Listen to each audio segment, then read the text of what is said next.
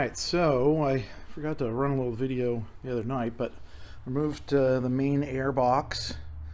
Um, started disconnecting some of these lines, all the hoses um, go along with the intake. Uh, one of the tricks I'm doing, I don't know if it's the best way to do it, but I am putting tags on things. So I'll have a matching tag here and a matching tag on the piece that comes off.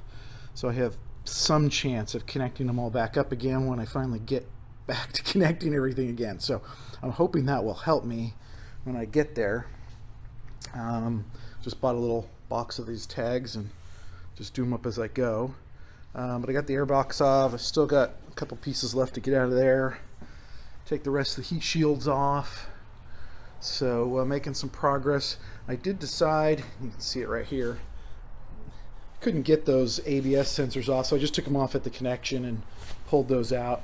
I have to remove this transaxle.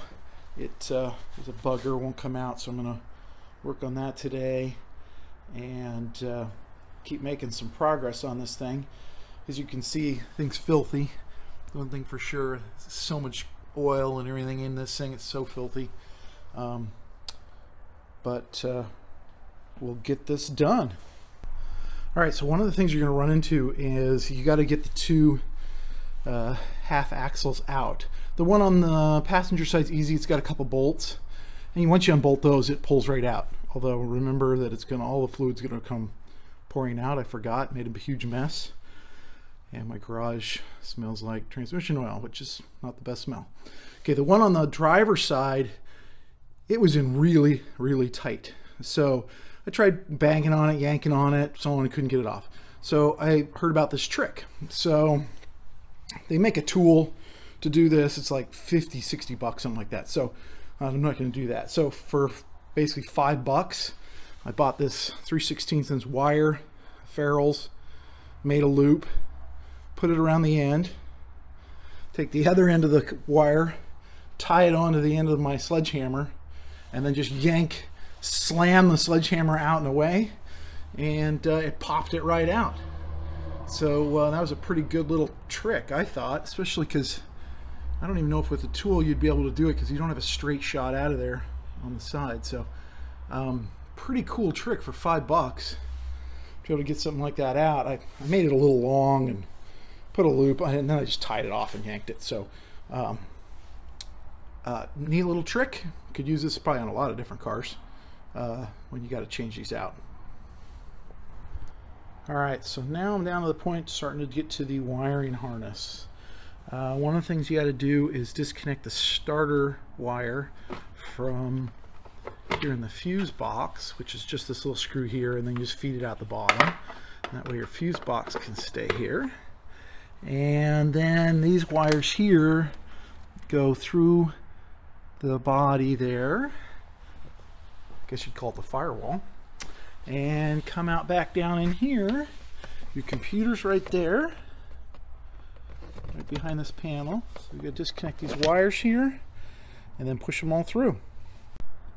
All right, so I'm just about ready with everything. Uh, a couple odd things. This is the hot wire, the red wire from the battery. You have to disconnect that. It's got two pieces connected. One goes with the wiring harness. So you do have to get that apart. Mine was a little tough. Got all the wiring harness out. Just did this. These are the shift linkages on the transmission. These things are really worn. So I bought new ones, the new ball bearing type one. So I'll swap those out when that goes in. Um, so now I'm right down to the last couple pieces. So I got this mount to do, the mount here in the front and the mount on the side over here. There's one down here and there's one there. One of the transmission's already done. And I'm going to lower this down a little bit and then I will um, get that compressor off, which I couldn't quite get to those bolts. So figure if I just lower it a little bit, I can get to those bolts and I'll be good. What I'm planning to do is use my engine hoist and I'm going to I put the rear bumper support on. I'll put strap around here, lift it up, and then I picked up this motorcycle lift uh, from Harbor Freight. It was, you know, all like 60 bucks. And uh, I'll put that underneath and use that to catch the engine, lower it down, and wheel it out. So that's the best laid plan. We'll see if it actually works.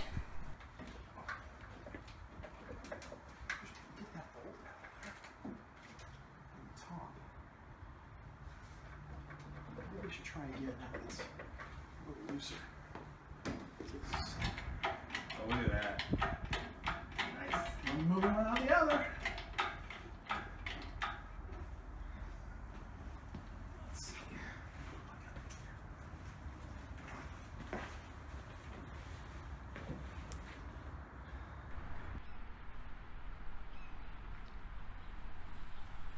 I'm back at it today. The weather's finally nice. It got really cold, which makes it very not fun in the garage. So uh, back to work. I've got just a couple things left I got to figure out to get this thing disconnected. One is down here. Uh, you can't almost see them.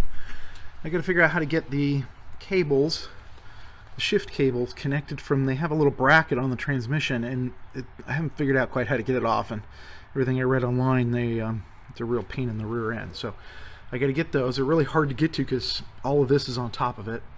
And then I have one radiator hose that's right at the back of the engine that I just could not get loose. I may have to cut it off and get a new hose but uh, which probably is the right thing to do. Um, and then I'll be ready to drop this thing. So uh, Back in a second.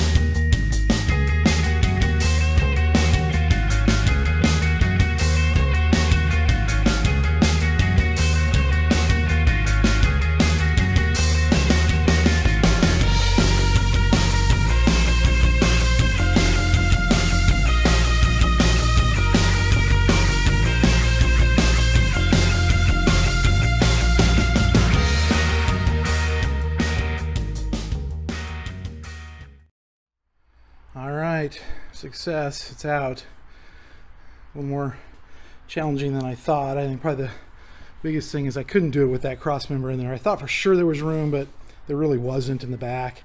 So uh, I had to change the straps to the back, and then I could take out the cross member. And that gave a lot more room for working with. Much better call. And uh, it's out. It tipped over. It's spilling junk everywhere. Um, but it's out. I forgot to disconnect a couple things like always. There's a couple cables that were hooked up. I forgot to disconnect the um, throttle cable and that was in the instructions and I forgot.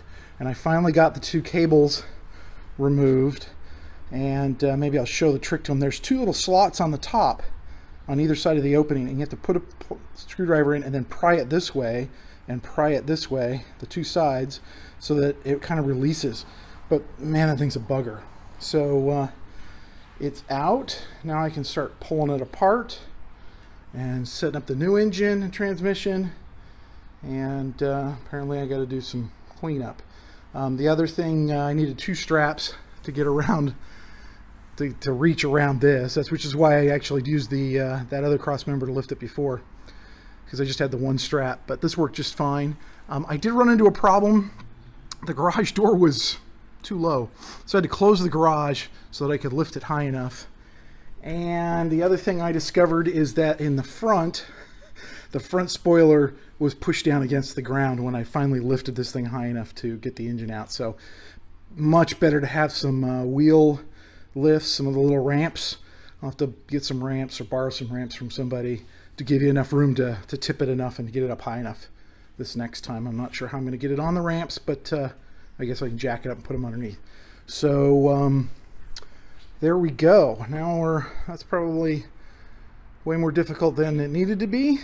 Um, first time for me ever doing something like this, uh, but I consider it quite a success. Now hopefully I can make sure I know where everything went. I tried to tag as much as I could, but there at the end I just pulling stuff off. So um, now I'm gonna clean well one I got to pull, start pulling parts off and setting up the other engine.